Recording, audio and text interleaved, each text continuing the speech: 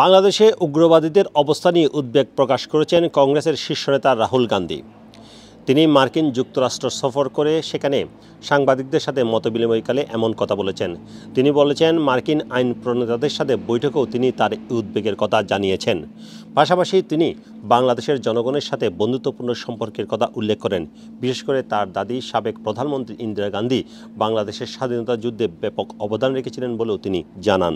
তবে উগ্রবাদীদের এই অবস্থা ধীরে ধীরে কমে আসবে এবং বর্তমানে অন্তর্বর্তীকালীন সরকারের সাথেও কাজ করতে ভারত প্রস্তুত রয়েছে বলে জানিয়েছেন রাহুল গান্ধী।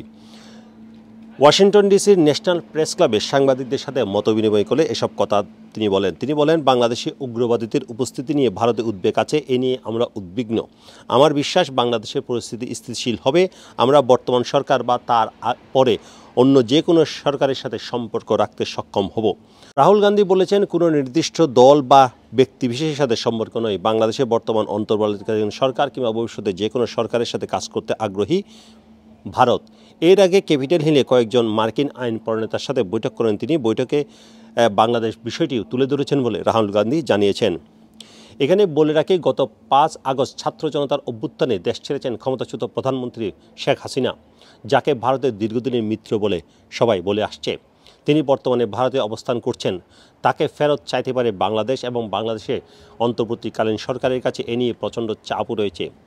পররাষ্ট্র উপদেষ্টা তহিত হোসেন বারবার বলেছেন, যদি বাংলাদেশ সরকার চায় তাহলে তাকে অবশ্যই ফেরত দিতে হবে ভারতের। তবে বর্তমান যে আইন রয়েছে সে অনুযায়ী অবশ্য ভারতে থাকতে পারেন ক্ষমতাচ্যুত প্রধানমন্ত্রী শেখ হাসিনা। তবে বর্তমানে তিনি কি স্ট্যাটাসে আছেন সেটি অনেকটা খোলাসা করা হয়েছে, কারণ বাংলাদেশ ভারতের মধ্যে যে প্রত্যাবর্তন চুক্তি রয়েছে সে অনুযায়ী পঁয়তাল্লিশ দিন থাকতে পারেন যাদের কূটনৈতিক পাসপোর্ট রয়েছে। ক্ষমতাচ্যুত প্রধানমন্ত্রী শেখ হাসিনা যখন ভারতে যান সে সময় তার কাছে কূটনীতিক পাসপোর্ট ছিল, সে কারণে তিনি সেখানে পঁয়তাল্লিশ দিন থাকতে পারবেন। কিন্তু এই পঁয়তাল্লিশ দিন শেষ হওয়ার পরে কীভাবে তিনি থাকবেন সেটি এখন দেখার বিষয়।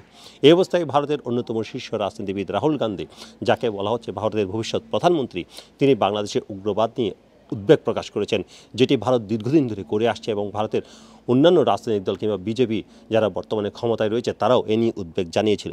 এখন আমেরিকায় গিয়ে আইন প্রণেতাদের সাথে বৈঠকও তিনি এই উদ্বেগের কথা জানিয়েছেন এবং পাশাপাশি সাংবাদিকদের সাথেও তিনি এ ব্যাপারে খোলামেলা কথা বলেছেন। তবে তিনি বলেছেন, অন্তর্বর্তীকালীন সরকারের সাথে তারা কাজ করতে আগ্রহী এবং উগ্রবাদের যে পরিস্থিতি, সেটিও ধীরে ধীরে শান্ত হয়ে আসবে।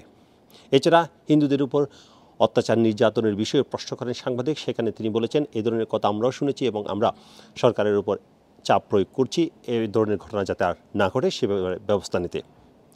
Sarwar Hossain, top news, London.